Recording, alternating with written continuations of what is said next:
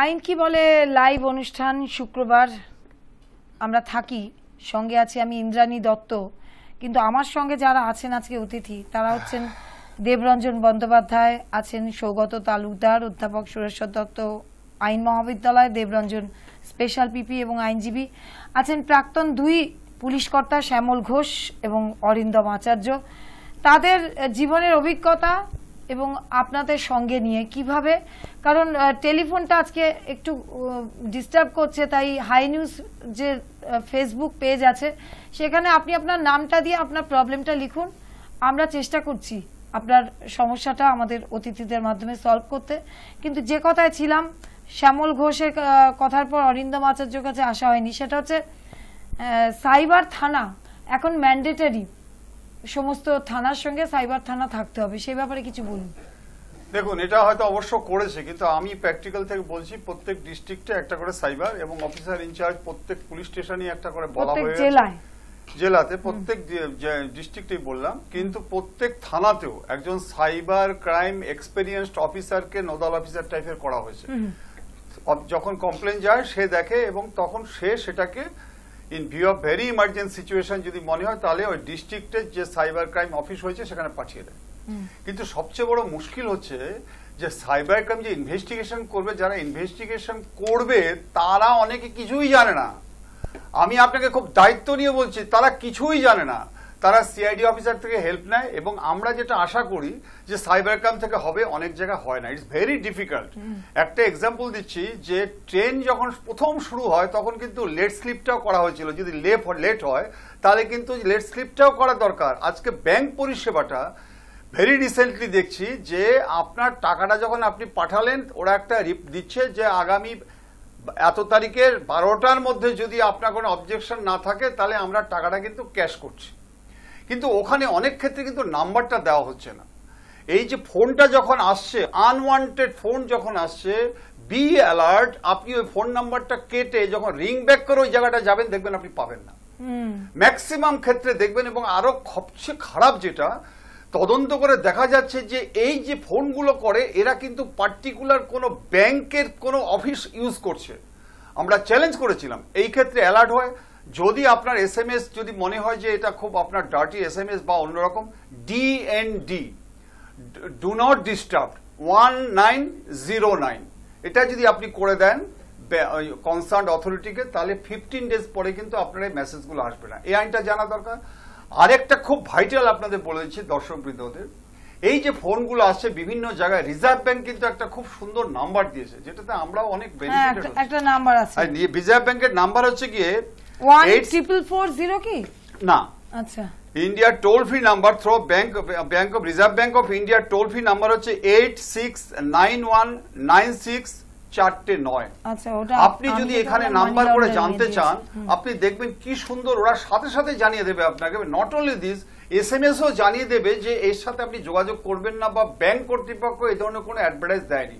আরেকটা হচ্ছে কি এটার email S C H E L dot RBI dot O R G dot in এটাতেও কিন্তু আপনারা জানতে পারেন। আর প্রশ্ন হচ্ছে যে এগুলো যদি আমরা ব্যাংক আমার টাকা আছে আমি মোটরসাইকেল কিনতে পারি কিন্তু যদি না চালাতে- চালাতে জানি আমার পাটা ভাঙবে আমি এটিএম যেটা সৌগত বাবু বলছেন আমার শ্যামল বাবু বলছেন স্পেশাল পিপি সাহেব বলছেন আমি যদি ইউজটা না জানি তাহলে কিন্তু আপনার একেবারে অবধারিত আর একটা ছোট্ট কথা বলি জীবনে কোনোদিনও কোনোদিনও কোনো হোটেল রেস্টুরেন্টে গিয়ে খাওয়ার পরে এটিএম কার্ডটা ওয়েটারকে দিয়ে পাঠাবেন না। কারণ ম্যাক্সিমাম ক্ষেত্রে দেখা যাচ্ছে যে ওয়েটারদের এখানে একটা স্ক্যানিং মেশিন থাকছে। ওরা যখন যাচ্ছে ব্যাক সাইড থেকে আপনি বুঝতে পারছেন না যাওয়ার সময় এখানে কিন্তু আপনার পুরো সমস্ত এটিএম এর জিনিসটা নিয়ে নিচ্ছে। এবং যখন আপনাকে দিল টাকা ব্যাক পরবর্তীকালে বাড়িতে গিয়ে দেখলেন আপনার সমস্ত টাকা তুলে নিয়েছে। অতএব আপনার অনেক অনেক অভিজ্ঞতার কথা বললেন কিন্তু শ্যামল বাবু এই যে নতুন ধরনের জালিয়াতি, আমি বারবার বলেছিলাম সনাতন পদ্ধতির জালিয়াতি, সেটা দুই একটা ধরন ধারণ বোঝা যেত, কিন্তু এখনকার ধরন ধারণে সেটা কিন্তু ঘাবড়ে যেতে হচ্ছে। যত সুবিধা হয়েছে আমাদের ডিজিটাল দুনিয়ায়, তত কিন্তু একটা আশঙ্কা। এবং সেখান থেকে সেই পুলিশরা কতটা ট্রেন্ড, বিশেষ করে নতুন প্রজন্মের পুলিশরা হয়তো সাইবার ক্রাইম সংক্রান্ত থানায় তারা সব কিছু জানছেন, কিন্তু প্রত্যেক জেলায়, প্রত্যেক থানায়, আমরা যদি সেন্ট্রাল কোনো একটা জায়গা থাকে পুলিশের লালবাজার বা কিছু যে সেখানে গিয়েই আমরা জানাতে পারব এরকম কিছু আছে? এখন একটা প্রবলেম হচ্ছে কি যেটা আমাকে অরিন্দ্রবাবু বললেন খুব ভালো করে যে আমাদের তো একটা থানা রিমোট কর্নারেও থানা আছে। আজকে সেখানেও কিন্তু আপনার ব্যাংক হ্যাঁ, আছে হ্যাঁ। এটিএম এ সব সিস্টেম আছে। এবার সেখানে যদি কোনো জালিয়াতি হয় আমি যখন দেখল আমাকে কমপ্লেনটা তো আমি সাইবার থানাতে গিয়ে জেলা হেডকোয়ার্টার করতে পারছি না। যে কোনো জায়গায় করতে পারব। যে কোনো জায়গা মানে আমাকে লোকাল থানায় করতে হবে। হ্যাঁ। লোকাল থানায় করলে লোকাল থানা লোকাল থানা তার যে অ্যাপ্রোপ্রিয়েট অ্যাকশনগুলো নেবে নিয়ে পাঠিয়ে দেবে। এখন একটা ঘটনা হচ্ছে যেটা অরিন্দম বাবু বলেন আমি তার সঙ্গে একমত। আমাদের পরিকাঠামো সেইভাবে কিন্তু এখনও তৈরি হয়নি। এই ক্রাইমটাকে কমব্যাট করার জন্য যে ধরনের অভিজ্ঞতা দরকার সেই ধরনের অভিজ্ঞ পুলিশ অফিসার এখনও সব জায়গাতে কিন্তু আসেনি। কোথাও কোথাও আছে। কোথাও কোথাও নিঃসন্দেহে হ্যাঁ, আছে। যাদের তারা ভীষণ মানে চেষ্টা করে এগুলো বারো করে। না না করে বহু ক্ষেত্রে করেছেন তারা করেননি তা না। হয়তো অনেক ক্ষেত্রে আমরা উপকারটা না পেলে মনে করছি যে হয় না কিন্তু দেখুন সব জিনিস তো হয়ে ওঠে না। পরিকাঠামো দরকার এবং সাইবার ক্রাইম যারা তদন্ত করবেন। দেখুন আমরা যখন মানে ব্যাংক জালিয়াতি যখন ডিজিটালি হচ্ছে তখন সেটা সাইবার ক্রাইম হিসেবে ট্রিট হবে। ট্রিট হচ্ছে। এবারে আমরা নিজেরা বলছি আমরা যখন চাকরি করেছি তখন এই সাইবার অফেন্সটা সেইভাবে আসেনি ছিল না। তো এখন ট্র্যাডিশনাল অফেন্স ছিল। এখন ওই একই কথা বলছি টেকনোলজি উন্নত হচ্ছে। মানে সেটা তো আমরা জানি কিন্তু সাধারণ মানুষের সচেতনতার জন্য যে কোনো থানায় গিয়ে তারা এটা কমপ্লেন করে ডায়েরি করে এফআইআর করতে পারবেন এবং তারা কনসার্নিং সাইবার বিশেষজ্ঞ যে থানা সেখানে তারা পাঠিয়ে সেখানে পাঠাবেন এবং এই পরিকাঠামোর মধ্যে থেকে তারা যে অ্যাকশন নেয় সেগুলো নেবেন। এক্ষেত্রে সাধারণত হয় কি পুলিশের তরফ থেকে অভিজ্ঞতা থাকে না বলে অন্য কথা কিন্তু পুলিশের তরফ থেকে ইনিশিয়েটিভ নেওয়ার কোনো ত্রুটি সাধারণত হয় না। কনজিউমার ফোরামের মাধ্যমে সৌগত বলছিলেন যে এর একটা সুরা হয় কীভাবে? কনজিউমার ফোরামে আমাদের যা নিয়ম আছে যে একটা কমপ্লেন ফাইল করতে হয় তার এগেনস্টে মানে আমি বলছি এটা ইনস্ট্যান্ট যখন হচ্ছে না ব্যাংকের মাধ্যমে তখন একটা দীর্ঘসূত্রিতা হলেও কনজিউমার ফোরামে যাওয়া উচিত। যাওয়া উচিত এক। দু নম্বর হচ্ছে আমরা একটা কথা বলছিলাম যত তাড়াতাড়ি সম্ভব জানানো উচিত তার তার পিছনে দুটো কারণ। এক হচ্ছে এই যে ডিটেকশন পদ্ধতিটা যেটা বল- বলা হচ্ছিল তাতে কিন্তু সিসিটিভি ফুটেজটা ইজ ভেরি ভাইট এই সিসিটিভি ফুটেজটা ব্যাংকের রোলিং ওয়াইজ থাকে এটা কিন্তু নয় যে আজকে সিসিটিভি ফুটেজটা আপনি এক বছর পর সেভ করে না রাখলে থেকে যাবে। যদি না ব্যাংক চায় সেভ করে রাখ তাহলে থেকে যাবে। কিন্তু ব্যাংকে ওই রিমাইন্ডারটা দেওয়া যে এই সিসিটিভি ফুটেজটা আমার কাজে লাগতে পারে ভবিষ্যতে যে এই কারণে সেই জন্য সেভ করে রাখো। মানে এমন এটিএম এ যাব যেখানে সিসিটিভি মাস্ট মাস্ট কিন্তু আপনি তো এরকম হতেই পারে যে এমন এটিএম এ গেলেন যেখানে সিসিটিভি নেই। আর অনেক সময় আমরা আমরা যারা শিক্ষিত লোক তারাও করি না। যে খুঁজি কি সিসিটিভি আছে না নেই? সিসিটিভি না থাকলে সেই এটিএম এ যাব না। না না কিছু করার নেই। সেখানে তো আপনাকে যদি দরকার হয় যেতেই হবে। যেতেই হবে সেখানে যেতেই যেতেই হবে। কিন্তু ব্যাংকের নিয়ম আছে ম্যান্ডেটরি রাখতে হবে। ব্যাংকের এটাও নিয়ম আছে এটিএম উইদাউট রক্ষী রাখা যাবে না। কিন্তু আমরা তো দেখছি। বহু জায়গায় আছে বহু জায়গায় আছে। কস্ট সেভিং এর জন্য ব্যাংক রাখে না। কিন্তু আরবিআই নিয়ম আছে যে রাখা যাবে না। আমি দেবরঞ্জন এই তাড়াতাড়ির আরেকটা রহস্য আমার মনে হচ্ছে যে ওয়ার্ল্ড ওয়াইড ওয়েবের মাধ্যমে যেহেতু এটা হয় যে একজন করে পালিয়েও যেতে পারেন অনেক দূরে কিংবা দূর থেকেও এটা রিমোট কন্ট্রোলে জালিয়াতি করতে পারেন। সেই জন্য তাড়াতাড়ি করলে বোধহয় ধরার সুবিধা। দেখুন এটার এটা তো ক্যাশ টাকা নয় যে এই টাকাটা নিয়ে আরেকটা জায়গায় রেখে দিলাম। এটা এটা কি হচ্ছে? Online portal. একটা কোনো পোর্টাল থেকে নিয়ে টাকাটা আরেকটা পোর্টালে যাচ্ছে। সেখান থেকে তাড়াতাড়ি জানালে ব্যাংক বা ইনভেস্টিগেটিং এজেন্সি বুঝতে পারবে যে এখন ওটা কোন পোর্টালে গেছে। এটা যদি চার পাঁচটা পোর্টাল পেরিয়ে যায় তাহলে তো সেটাকে ধরা। মুশকিল। তাই সেখান থেকে রিকভার করার জন্য যে এখান থেকে টাকাটা এখানে গেছে সেটাকে ব্লক করে দেওয়া হলো সেখান থেকে রিফান্ড করে নেওয়া হলো। তার পদ্ধতিটা রয়েছে তাই যত শীঘ্র সম্ভব ইমিডিয়েট আফটার অকারেন্স আমি বন্ধুদের আরেকবার বলব আমাদের দর্শক বন্ধু যে আমাদের টেলিফোন লাইনটা একটু ডিস্টার্ব করছে তাই সরাসরি টেলিফোনে যে পাবেন বলে মনে হয় না কিন্তু হাই নিউজ ফেসবুক যে লাইভ পেজ আছে সেখানে যদি আপনি আপনার সমস্যাটা লিখে নামটুকু লেখেন তাহলে কিন্তু আমরা আপনাকে হেল্প করতে পারব আমরা দেখে নিতে পারব। অরিন্দম আচার্য সেটা হচ্ছে যে আমরা এখন অনলাইন কেনাকাটায় অভ্যস্ত হয়ে গেছি।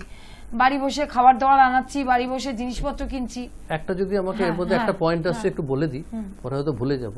যখন অনলাইনে আমরা কিছু কেনাকাটা করছি বা অনলাইনে যে আমরা আমাদের ডেবিট কার্ড ক্রেডিট কার্ড এগুলো দিচ্ছি এখানে কোনো অবস্থাতেই যেন সেটা সেভ করে রাখবেন না। যে ওই কার্ডটা আমার সেভ রয়ে গেল ওর পাসওয়ার্ডটা সেভ রয়ে গেল এটা যেন না হয়। ওরা ওখান থেকে পোর্টালে জানতে চায় যে save password for the future এটা যেন নো করবেন। কারণ যেটা করার ফলে ফোনটাই যদি কখনো হারিয়ে যায় তো সব চলে যাবে। তো সে কারণে আর এই ফোনের। পাশে এই যে কোনো কারণে যখন হবে আর চেষ্টা করবেন কোনো একটা কার্ডই সব কার্ড যেন ইউজ না করতে হয় অনলাইনে এগুলো প্রোটেকশন কেন? তো তার উত্তর নেই। প্রোটেকশন এগুলো করা উচিত। মানে একটা কথা মনে পড়ল হঠাৎ কথাটা শুনতে শুনতে। সেটা হচ্ছে আমরা তো অনলাইন করলে হয় মোবাইলে করি নাহলে কম্পিউটারে কাজ করি। এই যে যে মেশিনটা দিয়েই আমরা কাজটা করছি চেষ্টা করুন সেটাতে যেন একটা অ্যান্টিভাইরাস থাকে। এইটা খুব একটা জরুরি জিনিস। আমরা যখন কোনো অ্যান্টিভাইরাস থাকা মেশিনে করি এই অনলাইন ট্রানজাকশনগুলো তারা একটা ব্রাউজারই তারা একটা হ্যাঁ। ব্রাউজারই খোলে প্রোটেক্টেড ব্রাউজার বলে একটা ব্রাউজারই খোলে তার জন্য। এইটা কিন্তু আরেকটা মেজার যেখানে আমি একটা প্রোটেকশন পেতে পারি। আর যে কম্পিউটার অনেকে ব্যবহার করে সেটা অ্যাভয়েড করাই ভালো। একদমই অ্যাভয়েড করা উচিত। আমি অনলাইনের কেনাকাটা নিয়ে বলছিলাম অরিন্দম। সেখানে আমরা খুব ইজি হয়ে গেছে এখন। সেইখান থেকেও তো করতে পারে। প্রথম কথা হচ্ছে আমার এটিএম কার্ডে সব সময় লক্ষ্য রাখতে হবে বেশি টাকা যেন আমি না রাখি। আচ্ছা। কখনো বেশি টাকা রাখা যাবে না। আর অনলাইন ইউজ করার আগে আমাকে জানতে হবে সিস্টেমটা কি। এই যে সৌগতবাবু যে কথাটা বললেন পিপি সাহেব যে কথাটা বললেন খুব ইম্পর্টেন্ট কথা বলেছে। যে ওই ক্ষেত্রে যে যে কোন জায়গাটা যে সেভ করবে কি না নো বলে বলে দেওয়া এগুলো যদি আমরা না জানি তাহলে আমাকে ফেলতেই হবে। আর একটা ছোট্ট এক্সাম্পল দিচ্ছি তাহলে বুঝতে পারবেন কত ইন্টেলিজেন্ট এরা। একটা মেসেজ এলো যে আপনার এই অমুক জায়গায় একটা চাকরি আছে, সেই চাকরির জন্য বলল, বলে একটা ফর্ম ফিল আপ করতে দুশো টাকা। দুশো টাকা বলল, পরবর্তীকালে বলে আপনি সিলেক্টেড হচ্ছেন, আপনাকে five hundred five hundred rupees আপনাকে দিতে হবে। দিয়ে দিল, এবার বলল সরি ফাইভ হান্ড্রেড নয়, ওটা টু হান্ড্রেড হবে থ্রি হান্ড্রেড রুপিস আমরা রিটার্ন দিচ্ছি, কিন্তু এই রিটার্নটা আপনার ব্যাংকের মাধ্যমে দিতে হবে, আপনি ব্যাংক নাম্বারটা জানান। এই দেখুন, এখানে কত বড় বুদ্ধিমানের কাজ করেছে। যেই ব্যাংক নাম্বারটা দিল, ওখান থেকে বাষট্টি হাজার টাকা তুলে নিল। অর্থাৎ এই ক্ষেত্রে আমি বলছি যে খুব অ্যালার্ট এই যে মেসেজগুলো আসছে আনওয়ান্টেড মেসেজ যেটা সৌগতবাবু বললেন, আমি বললাম, শ্যামলবাবু বলল যে ব্যাংক অথরিটি বা গভর্নমেন্ট কোনোদিনও চাকরির জন্য কোনোদিন এই ধরনের মেসেজ দেয় না। এটা যদি অ্যালার্ট না হন অনলাইনেই করুন, আপনি যতই শিক্ষিত হন, যে টার্মস অ্যান্ড কন্ডিশনগুলো আছে, সেখানে সমস্ত কিছু দেওয়া থাকে কিগুলো দেওয়া থাকে, এইগুলো যদি ইউজ না জানেন, তাহলে get ready to feel the consequences আমরা এই আলোচনা থাকব, কিন্তু তার সঙ্গে জড়িয়ে নেব আরেকটা আলোচনা। দেখুন মানি লন্ডারিং কেস সেগুলো অনেক বড় বড়। সেই নীরব মোদি, সেই মেহুল চৌস্কি, তারপরে ধরুন বিজয় মাল্য, এরা কিন্তু এরকম আমাদের ছোটখাটো অ্যাকাউন্টের ব্যাপার নেই, তারা নিয়ে কোথায় পালিয়ে গেছেন সেটাও কিন্তু এই সাইবার ক্রাইমের মধ্যেই পড়বে। এবং সেখানে ওই হাজার হাজার কোটি কোটি টাকা তাদের আনা হবে কিনা নেওয়া হবে কিনা কিন্তু সাম্প্রতিকতম আমাদের দুর্ভাগ্য যে আমাদের প্রাক্তন স্বরাষ্ট্রমন্ত্রীকে সেই কেসে আমরা দেখছি। এখানে অন্য একটা কারণে আমরা এই প্রসঙ্গটা আলোচনা করব সেটা হচ্ছে যে এই পুলিশ হেফাজত এবং জেল। হেফাজত। এই ব্যাপারগুলো নিয়ে আকচাকচি হচ্ছে। অর্থাৎ কিছুদিন আগে অভিযুক্ত মানে আন্ডার ট্রায়াল বলব যিনি প্রাক্তন মন্ত্রী তিনি বলছিলেন যে না আমি সিবিআই বা ইডির হেফাজতেই থাকতে চাইছি। আমি জেল হেফাজত চাইছি না। স্বাভাবিক আমরা বুঝতে পারছি যে একটা অত বড় সম্মানীয় ব্যক্তি তিনি জেল হেফাজতে যেতে চাইছেন না। কিন্তু এই ব্যাপারটা কি? মানে কতদিন রাখতে পারেন আর কতদিন পারেন না? এটার মধ্যে কি কি ব্যাপারটা আছে? এটা আমি বলি দেখুন পুলিশ হেফাজত এবং জুডিশিয়াল হেফাজত যেটা বলা হয় আলটিমেটলি দেখুন সবটাই জুডিশিয়াল হেফাজত। এবারে একটা ঘটনা তদন্ত করতে গিয়ে সে পুলিশ ডিস্ট্রিক্ট পুলিশ হোক কমিশনার পুলিশ হোক সিবিআই হোক সিআইডি হোক যেখানেই হোক তদন্ত করতে গিয়ে একটা সিরিয়াস কেস যখন হয় তাকে প্রচুর ইন্টারোগেশনের দরকার হয়। যে টাইমটা আগে পাওয়া যায় তার মধ্যে ওই ইন্টারোগেশন প্রসেসটা কমপ্লিট করা সম্ভব না বারবার সেটা বাড়িয়ে বাড়িয়ে নেওয়া হয় হ্যাঁ, না না বারবার বাড়ানোর কথা না প্রয়োজন ভিত্তিক। আইন বলছে যে যতটুকু প্রয়োজনের বাইরে আর করা যাবে না আচ্ছা। প্রয়োজন না হলে আর করা যাবে না। কাউকে যদি সাত দিনের পুলিশ কাস্টডি পুলিশ রিমান্ড যেটাকে বলা হয় না হয় পিসি তিন দিনে যদি কাজটা হয়ে যায় তাহলে কিন্তু ফোর্থ ডেতে তাকে কোর্টে প্রডিউস করতে হবে। এটাই আইন। এবারে যতক্ষণ পর্যন্ত এটা ম্যাক্সিমাম টাইম আছে ম্যাক্সিমাম চোদ্দ দিন পর্যন্ত রাখা যায় পুলিশ পুলিশ হেফাজতে পুলিশ কাস্টডিতে কিন্তু এখানে তদন্তকালীন দেখা যাচ্ছে যে একজনকে ইন্টারগ্রেশন করতে করতে করতে করতে তার ইন্টারগ্রেশন করা মানে তো অন্য কিছু করে নয়, কেসের স্বার্থে কেসের স্বার্থে। এবং এই যখন কাস্টডিতে থাকে অনেকগুলো প্লাস পয়েন্ট আছে। একজন আসামি যতক্ষণ কাস্টডিতে থাকবে পুলিশ কাস্টডি পুলিশ কাস্টডিতে থাকবে অবশ্যই পুলিশ কাস্টডি বলছে সাধারণ মানুষ তো বুঝবেন না কাস্টডি কি জিনিস। অবশ্যই পুলিশ পুলিশে আপনি ভেবেই নিচ্ছেন যে পুলিশ কাস্টডি মানে পুলিশ। পুলিশ কাস্টডিতে থাকাকালীন তিনি যদি সেই আসামি যদি কোনো কনফেশন করে সেই কনফেশনের উপর বেশ করে না না কনফেশনের স্বীকার স্বীকারোক্তি করে সেই স্বীকারোক্তির উপর বেশ করে যদি কোনো মেটেরিয়াল রিকভারি হয় আচ্ছা। বা যদি কোনো নতুন জিনিস পাওয়া যায় তাহলে কিন্তু সেটা আইনে বলছে twenty seven of the Indian evidence অ্যাক্টে সেটা অ্যাডমিসেবল এভিডেন্স আচ্ছা। অনেকেই বলেন যে এমনি কেন পিসিতে নিয়ে কেন করতে হয়? এমনি এমনি ইন্টারগ্রেশন করলে আইন কিন্তু ওই টোয়েন্টি সেভেন এভিডেন্স অ্যাক্টের যে বেনিফিট সেই বেনিফিটটা কিন্তু পাবে না। এই জন্য পুলিশ কাস্টডির দরকার হয়। তাছাড়া প্রলং ইন্টারগ্রেশন দরকার হয়। এবারে জুডিশিয়াল কাস্টডি যেটা বলছে পুলিশ কাস্টডি ছাড়া জুডিশিয়াল কাস্টডি যখন একজন একটা কোর্টে পাঠানো হলো সেই কোর্টে পাঠানো হওয়ার পর তাকে যখন জেলে পাঠানো হয় জেল হোক যেটা হোক সেটা সবটাই কিন্তু জুডিশিয়াল কাস্টডিতেই বলা হয়। আমি এখানে আসব সৌগত কাছে যে আমরা সাধারণ মানুষ যখনই একজন আন্ডার ট্রায়াল জেল কাস্টডিতে যান পুলিশ কাস্টডি হয়ে আমরা সাধারণ বুদ্ধিতে ভেবে নিই ইনি অভিযুক্ত হয়ে গেছেন। কিন্তু এমন অনেক দেখেছি যে আন্ডার ট্রায়াল অর্থাৎ বিচারাধীন কিন্তু তারপরে একেবারে মানে কলুষ মুক্ত হয়ে বেরিয়ে গেলেন। কিন্তু তার যে মিডিয়া ট্রায়াল হয় বিশেষ করে যত তার উ- মানে উচ্চ পদস্থ হন যত নাম করা হন তার মিডিয়া ট্রায়ালটা কিন্তু এই নর্মাল ট্রায়ালের কম হন না। এই যে এটার মধ্যে- পেছনে আপনাদের যুক্তি আছে যে একজন অভিযুক্ত যেন না হন আহ, একটা যুক্তি আছে আপনাদের কিন্তু হ্যাঁ বেনিফিট অফ ডাউট কিন্তু আমি বলছি যে আমাদের সাধারণ দৃষ্টিতে এই পিসি বা জুডিশিয়াল কাস্টডির পরেও তিনি বেরিয়ে আসতে পারেন এবং এই পুরো ব্যাপারটার মধ্যে তিনি কিন্তু একজন আন্ডার ট্রায়াল ছাড়া আর কিছুই নন। যতক্ষণ না চার্জশিট দিয়ে তাকে প্রমাণ করা হচ্ছে। এইটার এই যে আমাদের মিডিয়া ট্রায়াল হচ্ছে এই আমরা তো একটা বিখ্যাত ব্যক্তিদের হ্যাঁ, শুধু বিখ্যাত নয় মানে যে কোনো মানুষেরই হতে পারে সেটা। আর আমরা সাধারণ মানুষ কিন্তু শুধু বুঝি জেল হয়েছে। জেল হয়েছে। কিন্তু উনি যে আন্ডার ট্রায়াল এখন অভিযুক্ত নন এটা কিন্তু বুঝি না। না না অভিযুক্ত। অভিযুক্ত সন্দেহের তালিকায় আছে সন্দেহের তালিকায়। কিন্তু প্রমাণিত হয় প্রমাণিত নন। দোষী সাব্যস্ত হয় দোষী সাব্যস্ত হয়নি। ঠিক। কিন্তু আমাদের দেশে কিন্তু যতজন দোষী সাব্যস্ত হয়ে জেল খাটছে হ্যাঁ। তার থেকে অনেক বেশি পরিমাণের মানুষ যারা আন্ডার ট্রায়াল প্রসিডিওর মধ্যে যে এবং সাধারণ মানুষও আছে। এবং সাধারণ মানুষ তো অবশ্যই আছে নইলে বেশি সংখ্যক মানুষ তো হবে কি করে? হ্যাঁ, অবশ্যই বেশি সংখ্যক। হ্যাঁ। এটা একটা কথা। দু নম্বর কথা হচ্ছে যারা আন্ডার ট্রায়াল থাকে আমরা কিন্তু কোথাও তাদেরকে বাইরে থেকে আলাদা করতে পারি না। ঠিক। জেলের ভেতরে একটা আলাদা আছে যে এখানে যারা দোষী সাব্যস্ত হয়েছে তারা থাকছে যারা আন্ডার ট্রায়াল তারা থাকছে তাদের একটা ডিভিশন অনেক সময় করা থাকে। কিন্তু আমরা বাইরে থেকে সেটা করতে পারি না। আমাদের সাধারণ তার ফলে কি হয়? সামাজিক যে একটা আমাদের তার যে কলঙ্ক কলঙ্ক লেগে যায় স্টিগমা হয় বা আমাদের যে সোশ্যাল স্ট্যাটা আছে তার সেলিব্রিটি থেকে বিখ্যাত ব্যক্তি থেকে সাধারণ মানুষ সাধারণ মানুষ। সবাইকে কিন্তু আমরা এই স্টিগমাটা দিয়ে দিই। দিয়ে দিই। এবং যেটা হয় কি এটা অনেক সময় দেখা গেছে যে এই স্টিগমার জন্য পরবর্তী সময় জেল থেকে যখন সে ছাড়া পেয়েছে মূল স্রোতে যখন মূল স্রোতে ফিরতে পারছে। পারছে না। আমি এক্ষেত্রে দেবরঞ্জনকে বলব যে এই যে ব্যাপারটা চলছে এটার মধ্যে যত হাই পাওয়ার লোকজন জড়িত থাকেন সেখানে পলিটিক্যাল খেলাও তো চলে। আমরা এটা আইনের অনুষ্ঠানে বলতে চাই না কিন্তু তবুও বলছি যখন দেখি যে একজনের জমানায় উনি ছিলেন আবার আরেকজনের জমানায় উনি শোধ পাচ্ছেন আন্ডার ট্রায়াল হিসেবে অনেকেই পলিটিক্যাল কথাবার্তা এর মধ্যে বলে দিতে পারেন কিন্তু আপনার কি মনে হয়? সাধারণ মানুষ থেকে বিখ্যাত ব্যক্তি আন্ডার ট্রায়ালের জন্য কি আলাদা কোনো সিস্টেম আছে আমাদের আমাদের আইনে?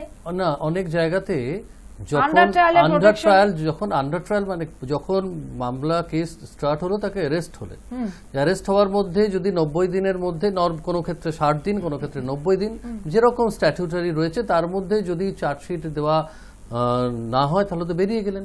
আর যদি যদি সেশনস ট্রাভেল কেস হয় অনন্তকাল দেখেছি যদি সেশনস ট্রাভেল যদি সেশনস ট্রাভেল কেস হয় তাতে যদি চার্জশিট দেওয়া হয় within statutory period ninety days সেক্ষেত্রে সেক্ষেত্রে মামলাটা কমিট হয়ে যায় এবং ট্রায়াল চলতে থাকে। সেক্ষেত্রে তাকে বেল কোর্ট দিতেও পারেন নাও পারেন। তখন যতক্ষণ না তার যতদিন অবধি কখনো মনে হয় ঠিক আছে যে প্রাইম উইটনেস যারা আছে তাদের উইটনেসটা কমপ্লিট হয়ে যাবার পর বেল দেওয়াতে পারে। কখনো মনে হয় যে না একে পুরোটাই রেখে করা উচিত না হলে সে পালিয়ে যাবে। এই জায়গাগুলো থাকে সেটা কোর্ট ডিসাইড করবেন। দেখুন আপনি যেটা বললেন ভারতবর্ষের বিচার যে পদ্ধতি সেই বিচার পদ্ধতিতে তো যেতে হবে। এখানে ট্রায়াল আন্ডার ট্রায়াল প্রিজনার তো থাকবেই সেই ভারতবর্ষে এটাই সিস্টেম স্টিগমা লেগে যায় এটা তো স্বাভাবিক একটা সামাজিক ব্যাপার। এটা নিঃসন্দেহে এটাও ঠিক কথা। কিন্তু আপনি যেটা বললেন যে এর মধ্যে রাজনৈতিক কোনো ব্যাপার থাকে কিনা আমি আপনাকে বলছি দেখুন গণতান্ত্রিক দেশ। গণতান্ত্রিক দেশে আমি এই কথা বলতে পারব না যে কোনো ক্ষেত্রে এটা রাজনৈতিক ব্যাপার থাকে না। থাকতেই পারে কোনো ক্ষেত্রে। কিন্তু আমি এটা বলব যে পুলিশের একটা জিনিস হচ্ছে গুড ফেতে করতে হয় এবং তার বিরুদ্ধে মিনিমাম কিছু এভিডেন্স না থাকলে কিন্তু পুলিশ ওইভাবে অ্যারেস্ট করে তাকে আন্ডার ট্রায়াল প্রিজনার হিসেবে তার বিচারের জায়গাতে নিয়ে যেতে পারে না। আমি এটুকুই বলব। আর একটা হচ্ছে যখন তাকে বিচারে ট্রায়ালে কাস্টডিতে রাখা হচ্ছে whether judicial custody or police custody whatever maybe জাজ সেই অর্ডারটা দেন। তো জাজেরা সাধারণত কিন্তু পলিটিক্যালি বায়াস হতে নেই। তারা তাই আমরা বলি তারা পলিটিক্যালি ইনফ্লুয়েন্স নন ঠিক আমি আবার ফিরে আসছি আমার এই ব্যাংক ফ্রডের ব্যাপারে। আমরা মাঝখানে একটু সরে গেছিলাম ওই জেল হেফাজত এবং পুলিশ কাস্টডি কি হতে পারে না হতে পারে এটা যেমন বিখ্যাত ব্যক্তিদের ক্ষেত্রে প্রযোজ্য আইন চোখে সবাই সমান সাধারণ মানুষও এই খপ্পরে পড়তে পারি। কিন্তু ব্যাংক ফ্রডের ক্ষেত্রে আমার যেটা একটা অ্যালার্মিং সেটা হচ্ছে যে দু হাজার আঠেরো উনিশে সেই বড় ধরনের ব্যাপারগুলোই বলুন আর ছোট ধরন বলুন, সেটা কিন্তু মারাত্মক পার্সেন্টেজে বেড়ে গেছে। কি বলবেন অরিন্দম? না না সত্যি তাই। এবং সেই ক্ষেত্রে হাজার হাজার কোটিও যেমন হয়েছে রিজার্ভ ব্যাংকের ডাটা দেখলে কিন্তু চমকে ওঠার মতো আঠেরো উনিশে। না নীরব মোদী যে মানে ব্যাপারটা করেছে প্রথম কথা হচ্ছে কি যে ও ফেথ অর্জন করেছে। হিরে ব্যবসায়ী ফেথ অর্জন করেছে। এক্ষেত্রে আমার একটু জানা আছে সময় যেহেতু কম। হ্যাঁ, ব্যাংক যখন জানতে পারে সেটা কি অনেক দেরি হয়ে যায়? কিছু আমি বলব কিছু high official of the concerned bank authority. তারা জড়িত ইনভলভ আমি বলছি ইনভলভ আপনি নীরব মোদী হিস্ট্রিটা দেখুন না কি কায়দা করে কি বুদ্ধি করে বেরিয়ে গেল। এবং এটা খুব দুর্ভাগ্য তো। আজকে আমরা আনতে পারছি না কেন? সাইব এই যে আইটি অ্যাক্টে যে কেসগুলো আমরা করছি যদি কখনো দেখা যায় যে সাইবেরিয়া বা ওই আপনার যদি অন্য দেশে আফ্রিকার দেশগুলোর সাথে আমরা যেতে পারছি। কারণ কি ওদের সাথে আমাদের সেই চুক্তিটা নেই। আমরা যতদিন চাকরি করেছি সেই চুক্তিটা ছিল না। অতএব সেই ক্ষেত্রে আমাদের এখন ইন্ডিয়া গভর্নমেন্ট চেষ্টা করছে যখনই নাকি সাইবার মানে বিশেষ করে আফ্রিকান দেশগুলো আরও অন্যান্য কিছু দেশ আছে তারা ওখান থেকে যদি এখানে কায়দা করে টাকাটা তুলে নিচ্ছে তাহলে কিন্তু সেক্ষেত্রে ইনভেস্টিগেশন স্টপ হয়েছে। আর একটা ব্যাংক ফ্রডের ক্ষেত্রে নর্মালি যেটা ব্যাংক যখন লোন দেয় একটা সাধারণ মানুষ যখন লোন দিতে যায় লোন নিতে যায় তখন তাকে অনেক- মর্টগেজ। বিধিনিষেধ তার যে গ্যারান্টি মর্টগেজ এগুলো রেখে দেন। ওয়ারাস যখন বড় কেউ নিচ্ছেন তখন সেই মতো নিশ্চয়ই রাখেন। তাহলে সেই জায়গাটাকে যাতে তাড়াতাড়ি রিকভার করা যায়। যে উনি চলে গেলেন ওনার মর্টগেজ প্রপার্টি বাড়ি যা প্রপার্টি সেগুলো যেগুলো ব্যাংক গ্যারান্টি যা রয়েছে সেগুলোকে যাতে স্কোয়ার আপ করা যায় সেটা দেখতে হবে। ফ্রড ছোট খাটো ক্ষেত্রে বলব আর মানি লন্ডারিং বলব কি বড় ক্ষেত্রে? না না না নাকি তার একটা আলাদা সব- সব সবটাই আলাদা আলাদা। পুরোটাই আলাদা। তাহলে সেটা কি ব্যাংক ফ্রড না। না সেটা ব্যাংক একটা টাইপ টাইপ মানে আরও বড় টাইপ আরও বড় টাইপ আচ্ছা। দুটো একটু শুনতে শুনতে দুটো তিনটে কথা মনে পড়ছিল। যে ওই যে মর্টগেজের কথা বললেন বড় বড় যারা তাদের কি মর্ট দেখুন এই নীরব মোদিরই মোস্ট প্রবলি একটি বাড়ি মর্টগেজ করে রাখা ছিল। হ্যাঁ, হ্যাঁ, যেটা জুহু বিচের উপর তৈরি একটি বাংলা। বাড়িতে তৈরি ছিল। কি হলো? যখন এই ধরা পড়ল ইন দ্য মিন টাইম তখন পরিবেশ আদালত বলল ওই বাড়িটি অবৈধ বাড়ি। এবং বাড়িটা ভেঙে দিল। আচ্ছা। তার মানে কি হলো? বাড়িটা ভেঙে দিল। এবার তাহলে কি হলো? এই বাড়ি বিক্রি করে যে টাকাটা আপনি পেতে পারতেন সেটাকে পাওয়া গেল না। তাহলে গেল এক পুরো টাকাটা এক। দু নম্বর মানে এইটা এই রিসেন্টলি আমাদের অর্থমন্ত্রী ব্যাংক সংযুক্তিকরণের একটা কথা বলেছেন। এইটার একটা যারা এর কিছু ভালো গুণ আছে অবশ্যই কিছু ভালো দিক আছে। আবার যারা খারাপ দিকটা বলছেন তারা একটা খুব ইম্পর্টেন্ট কথা বলছেন। তারা বলছেন এই যে ব্যাংকগুলো তো সব দুর্বল হয়ে গেছে তারা প্রচুর টাকা লোন দিয়েছে দিয়ে দুর্বল হয়ে গেছে। এইগুলোকে যদি আমি জোড়া দিয়ে দিই তাহলে আমানতটা বেড়ে গেল আবার ব্যাংকে তাহলে ব্যাংক আবার বড় অ্যামাউন্টের লোন দিতে পারবে। আচ্ছা। এইটা কিন্তু কোথাও গিয়ে আবার মানে একটা এটা নিয়ে আরও অনুষ্ঠান করা যায় হয়তো এটা অন্য অন্য ধরনের টকশো হবে কিন্তু আইন কি বলে হবে? না এটা হ্যাঁ, একটা কোথাও তৈরি হ্যাঁ। হচ্ছে। না একটা ছোট কথা হচ্ছে যেটা প্রশ্ন উঠল যে নিরম্বদিক ঘটনা এগারো হাজার চারশো কোটি টাকা ওখানে ফ্রড হয়েছে। বিশাল ব্যাপার আজ পর্যন্ত অত কোটি টাকার ফ্রড ইন্ডিয়ান করবে এতে ফ্রড কেসে নেই আর সেক্ষেত্রে জন পাঞ্জাব ন্যাশনাল ব্যাংকের অফিসারকে সাসপেন্ড করা হয়েছে। এবং পাঞ্জাব ন্যাশনাল ব্যাংকের অফিসাররা জড়িত কি জড়িত নেই সেটা পরের কথা বলবে। সেটা পরের পরের পরের বিষয় বিচার্য বিষয়। কিন্তু এটা ঘটনা ওই একটা ঘটনাতে ভারতবর্ষের সরকার এবং ব্যাংকগুলোকে কিন্তু একটা নাড়া দিয়েছে। তার পরিবর্তে আইনও পরিবর্তন হয়েছে। এখন কথা হচ্ছে একশো কোটি টাকার উপরে যদি লোন দিতে হয় তাহলে অনেকগুলো তাকে নিয়ম মেনে তার করতে হবে। কারণ এটা তো একটা বিরাট অ্যালার্মিং ব্যাপার।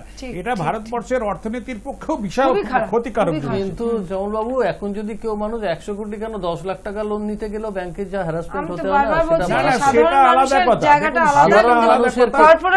আলাদা বড়দের জন্য ওরা আইন করে দেয় গরিব মানুষ সাধারণ মানুষ। আমরা আমরা আইন কি বলে না, তো না, অন্য কোনো আলোচনা করলে হবে না। দেখুন তার একটা গরিব মানুষ আমরা মনে করি যে গরিব মানুষ কিন্তু একটা ব্যাপার থাকে। না, হর্ষ মেহতা তো এরকম একটা ঘটনা করেছিল। তাহলে তারপরেও তো কতগুলো সিরিজ চলছে? আমরা যে আলোচনা করছি যে হ্যাঁ রেকটিফাই হচ্ছে নানা রকম আইন আছে তাহলে সেই ক্ষেত্রে সাধারণ মানুষ কতটা বেনিফিটেড হচ্ছে সেটা দেখার প্রশ্ন। ঠিক। আরেকটা কথা একটু জাস্ট লাস্ট হ্যাঁ। ওই ব্যাংকের লোক ইনভলভ না থাকলে এত বড় হ্যাঁ মানে without involvement of the bank কর্মচারী এটা সম্ভব। হাইয়েস্ট অফিসিয়ালদের মধ্যে তাদের হ্যাঁ, অতিথিদের ধন্যবাদ জানাব। আর আপনাদের ফোনে পেলাম না তার জন্য আমার দুঃখ নেই। কারণ এই অনুষ্ঠানটা তো চলতেই থাকবে। আজকের কোনো প্রবলেম যদি পরের দিনেও আহ, আসেন আপনারা তাতে কিন্তু আপনারা এন্টারটেন্ড হবেন না, এরম ভাববেন না। আপনাদের যে কোনো আইনি সমস্যা বা পুলিশি সমস্যা, আইন পুলিশ ইন্টার রিলেটেড এই ধরনের সমস্যা নিয়ে প্রত্যেক শুক্রবার আপনারা কিন্তু টেলিফোনে চলে আসবেন। বর্ষাকালে টেলিফোন লাইন, ল্যান্ডলাইন খারাপ হতেই পারে। আমরা আশা করব আপনাদের পাইনি, সেজন্য একটা দুঃখ আছে, কিন্তু পাবো, ভবিষ্যতে পাবো। এই আশা রেখে প্রত্যেককে ধন্যবাদ জানিয়ে শুভরাত্রি।